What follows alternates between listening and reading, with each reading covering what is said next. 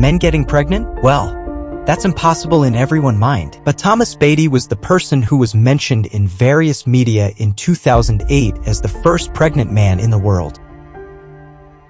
Hello everybody, welcome to this video. I upload videos about interesting stories and facts that everyone is curious about, so be sure you hit the subscribe button. Let's get to the video. The story was that Beatie was transgender. She was born a woman and her name was Tracy.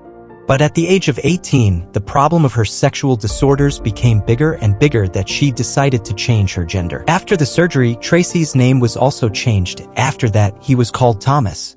Thomas was 34 years old when he married his favorite girl and explained everything to his wife from the beginning that he was female and changed his gender to male. Gender change was a long and painful process for her. This process took about 10 years to give a full male gender change. This process included diagnosis of disease, diagnosis of gender abnormalities, psychotherapy, and injection of male hormones into the body. Transgender women who want to become men must have several surgeries on their bodies. Among them, removing the uterus and vagina and replacing them with male organs.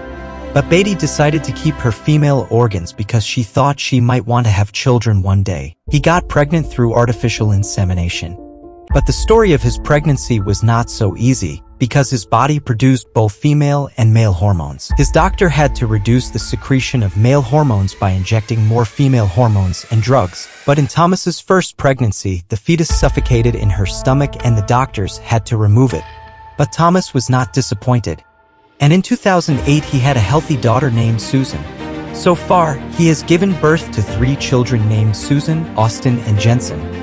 Thanks for watching and don't forget to hit the subscribe button and like the video.